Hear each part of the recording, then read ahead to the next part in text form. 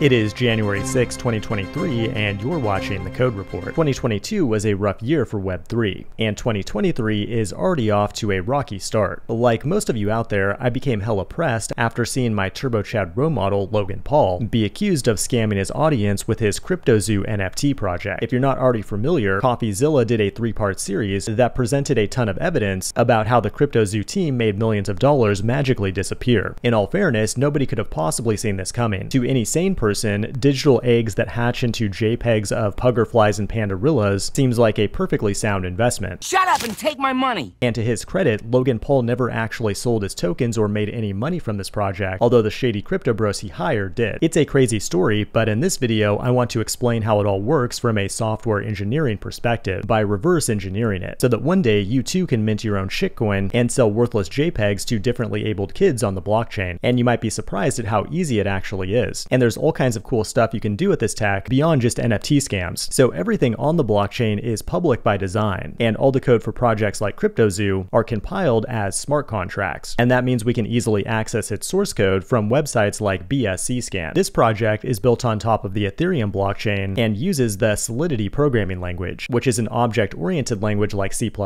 designed for writing smart contracts. If we inspect this code, you'll notice the first interface that it implements is ERC20, which is basically just your own cryptocurrency built on top of Ethereum. In this case, it's the ZOO token. Now, the other side of the equation is an ERC 721 contract, which generates a non-fungible token to represent the various images in CryptoZoo, which you can think of as digital Pokemon cards, but more interactive thanks to the code in this contract. Like you can hatch an egg to turn it into a base animal, then with a technique known as copulation, you can combine two animals into a freakish hybrid. Bruh. Now, depending on how rare the offspring is, it will yield the ZOO token to your wallet on a daily basis. And the contract also forms an auction house where these tokens can be traded. Now this code was generated with a tool called Open Zeppelin, which provides industry standard templates for these contracts. In fact, they have a wizard where you can generate almost everything you need without ever having to write a single line of code. Another interesting thing to point out is that the actual images for the NFTs are not stored on the blockchain. Instead, they live in a decentralized file system called IPFS, or Interplanetary File System, which is connected back to the NFT via its ID. Now that you know how to write a smart contract, you might be wondering what you should do with it. The next step is to compile it and deploy it to the blockchain. There are many tools that can help you do that, like Hardhat and Truffle for JavaScript development, or there's the Remix IDE that can take care of it entirely from the browser. Now, the final step is the front end. We'll need a website where our victim valued community members can purchase these NFTs and breed them into these horrible monstrosities. Like most Web3 apps, it's built with React.js, but the secret sauce is a library called Ethers.js, which allows you to connect to a deployed smart contract and connect to a user's wallet with browser plugins like MetaMask, which itself provides this Ethereum object on the window, facilitating secure transactions in your app, or dApp, or dApp if you prefer. And that's how CryptoZoo works in a nutshell. When it comes to the scam, it really has nothing to do with the underlying technology. The problem is that I trusted Logan Paul to take my hard-earned money to the moon without any kind of insurance or protection. And now I have to have a very difficult conversation with my wife about why our kids can't go to college. This has been the Code Report. Thanks for watching, and I will see you in the next one.